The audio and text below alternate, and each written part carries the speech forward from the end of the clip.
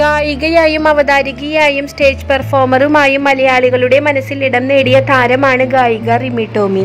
എപ്പോഴും വളരെ സന്തോഷവതിയായി തമാശ പറഞ്ഞ് ആളുകളെ കയ്യിലെടുക്കുന്ന റിമി ടോമിയാണ് പ്രേക്ഷകർ കണ്ടിട്ടുള്ളത്. റിമി ടോമിയുടെ സംസാരവും തമാശയും എല്ലാം ഇഷ്ടപ്പെടുന്ന മലയാളികളും ഏറെയാണ്. മഴവിൽ മനോരമയിൽ റിമി അവതാരികയായി എത്തിയ ഒന്നും ഒന്നും മൂന്ന് ഷോ വളരെയധികം ഹിറ്റായിരുന്നു. റിമി ടോമി അവതാരികയായും ജഡ്ജായും ഇരിക്കുന്ന എല്ലാ ഷോകളും വളരെ പ്രേക്ഷക സ്വീകാര്യതയാണുള്ളത്. സ്റ്റൈലിലും രൂപത്തിലും എല്ലാം മാറ്റം വരുത്തി പഴയ റിമിയിൽ നിന്നും വളരെ വലിയ മേക്ക് ഓവറാണ് ഇപ്പോൾ റിമി നേടിയെടുത്തത്. തന്റെ വിശേഷങ്ങളെല്ലാം സോഷ്യൽ മീഡിയ വഴി പങ്കുവെക്കുന്ന റിമി ആദ്യ വിവാഹമോചന ശേഷം ഇപ്പോഴും മുപ്പത്തൊമ്പതാം വയസ്സിൽ സിംഗിളായി തന്നെ തുടരുകയാണ്. ഇപ്പോഴിതാ റിമി ടോമി അവസാനമായി വളരെ ദുഃഖത്തോടെ സാഡ് ബി ജി എം ഇട്ട് പങ്കുവെച്ച റീലാണ് സോഷ്യൽ മീഡിയയിൽ വൈറലാകുന്നത്. എന്താണ് റിമി ടോമിക്ക് പറ്റിയതെന്ന് ചോദിച്ചുകൊണ്ട് നിരവധി ആരാധകരാണ് രംഗത്തെത്തിയിരിക്കുന്നത്.